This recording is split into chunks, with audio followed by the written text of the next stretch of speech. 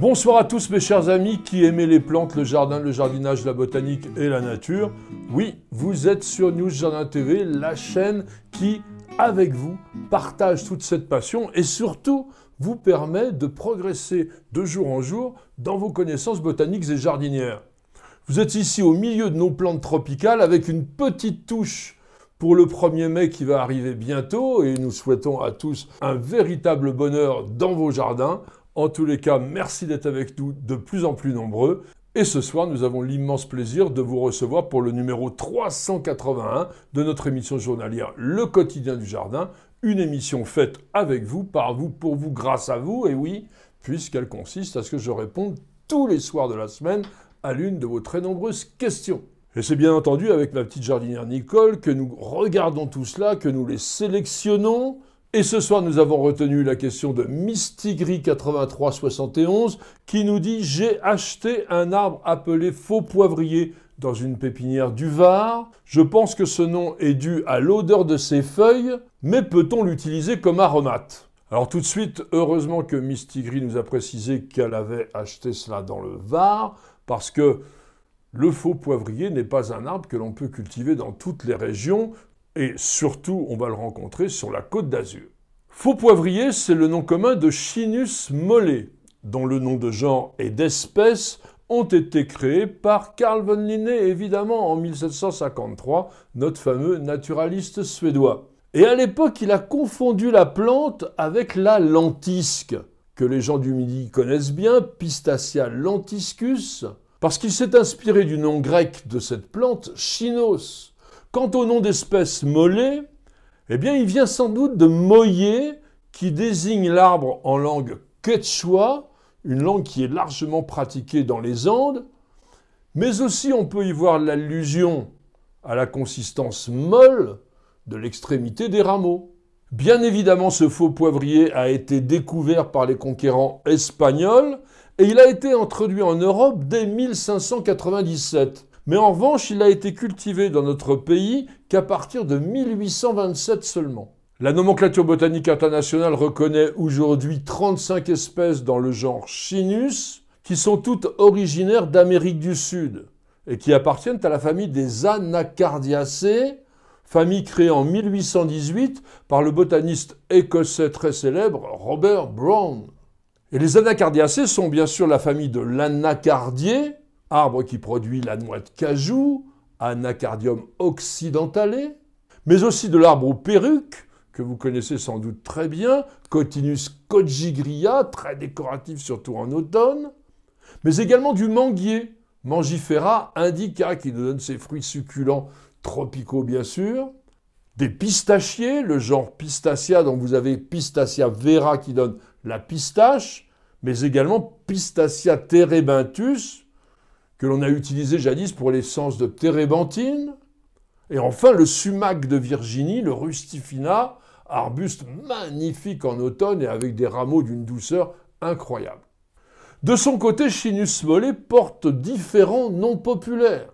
Arbre à mastic du Pérou, arbre à résine du Pérou, faux poivrier, nous l'avons vu, moellé poivre, poivre américain, poivre rose, poivre de Californie, et poivre péruvien. On a fait déjà un grand tour d'une partie de l'Amérique. Parce que ce faux poivrier se rencontre à l'état sauvage dans des zones arides, voire même désertiques des Andes, principalement péruviennes, mais il va aller jusqu'au sud du Brésil.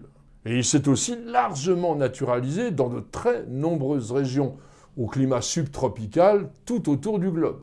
Chinus mollet est un arbre de croissance rapide qui va atteindre une quinzaine de mètres de haut et s'étendre sur 10 mètres de large. Il a un port naturellement pleureur, ce qui le rend extrêmement décoratif. Son écorce est rugueuse, grisâtre, souvent tortueuse, et elle laisse s'écouler une sorte de gomme résineuse très aromatique. Et cette dernière était d'ailleurs utilisée au Pérou pour embaumer les rois incas décédés. Les feuilles de Chinus mollet sont persistantes, composées, pennées. Elles mesurent entre 8 et 25 cm de long sur 4 à 10 cm de large et elles sont constituées de 19 à 41 folioles alternes, ce qui donne à la plante un aspect très léger, vraiment esthétique. Et ces feuilles sentent franchement le poivre lorsque vous les froissez ou les écrasez. Chinus mollet est dioïque.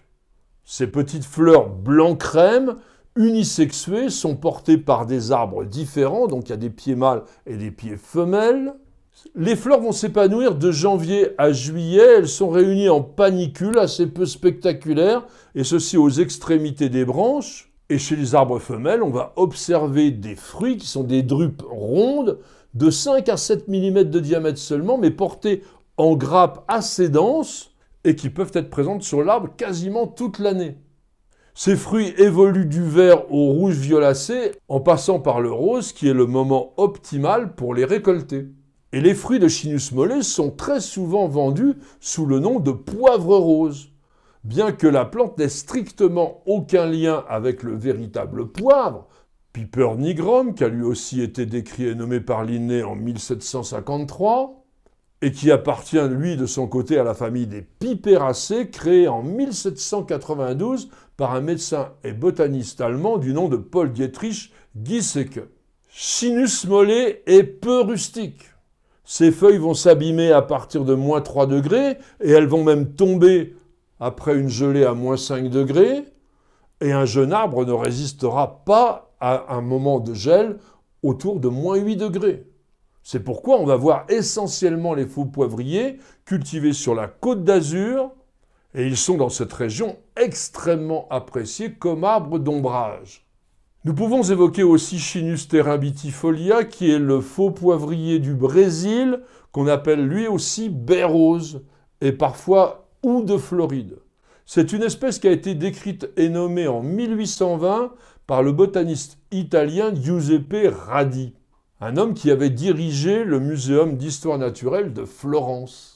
Chinus terambitifolia est un petit arbre de 7 à 10 mètres de haut, au port souple et qui pousse naturellement dans les marécages. Ses feuilles sont composées de 5 à 15 folioles lancéolées finement dentées et marquées par une nervure centrale jaune. Et ces feuilles, lorsqu'on les froisse, dégagent une curieuse odeur de térébenthine, d'où le nom d'espèce évidemment. En revanche, on n'utilise pas Chinus terabitifolia pour faire l'essence de térébenthine qui, elle, est fabriquée uniquement à partir de la résine des pins maritimes. Les fleurs de Chinus terabitifolia sont similaires à celles de Chinus mollet. En revanche, les fruits sont portés par centaines dans des grappes rouges foncées à maturité. Et on va aussi les trouver dans le commerce comme épices sous le nom des baies roses, parfois bonnes peut-être mélangées avec celles de Chinus mollet. C'est une plante de climat subtropical qui ne doit pas du tout être exposée au gel, c'est pourquoi on ne cultive guère en Europe. En revanche, dans de très nombreux pays tropicaux, Chinus terabitifolia est devenu invasif et il pose de gros problèmes écologiques parce qu'il est quasiment impossible à éradiquer du fait de son comportement drageonnant. Si le climat le permet, vous allez pouvoir accueillir Chinus mollet dans votre jardin. Dans ce cas-là, plantez-le en plein soleil, dans un sol léger, sableux, de préférence un peu calcaire, et surtout à l'abri des vents violents, parce qu'ils ont tendance à provoquer la chute indésirable des feuilles, et ceci en fin d'hiver.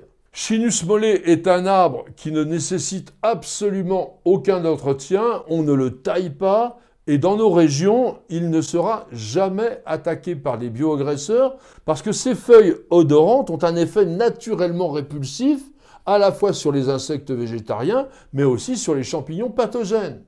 Vous allez installer cet arbre en isolé et surtout dans un emplacement éloigné des constructions parce que ses racines drageonnantes sont puissantes, elles peuvent soulever des trottoirs et sachez que dans certaines villes de Californie où l'arbre avait été généreusement planté dans le courant du 19e siècle, eh bien il est maintenant interdit et notamment à Los Angeles depuis 1930 toutes les nouvelles plantations de Chinus mollet en alignement dans les rues sont interdites.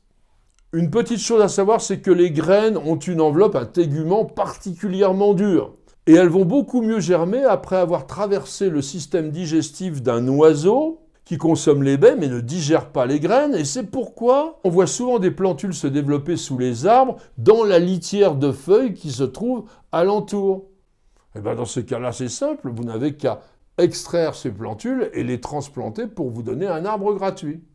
En médecine traditionnelle, Chinus mollet a été utilisé dans le traitement de diverses plaies et infections en raison des propriétés antibactériennes et antiseptiques des substances qu'il contient. On suppose même que ces feuilles possèdent des propriétés insecticides. On pourrait faire des macérations de feuilles de faux poivrier pour les utiliser dans la lutte antiparasitaire comme alternative aux produits chimiques, puisque vous savez bien que l'usage de toutes les substances d'origine de synthèse a été interdit par la loi Labbé de 2019. Du fait de toutes ces propriétés, les baies du faux poivrier doivent être utilisées avec beaucoup de modération, parce qu'elles contiennent aussi des substances allergènes qui pourraient irriter les muqueuses. Et je vous propose maintenant de satisfaire à la tradition et de terminer cette émission avec quelques vers que je me suis permis d'écrire tout spécialement pour vous.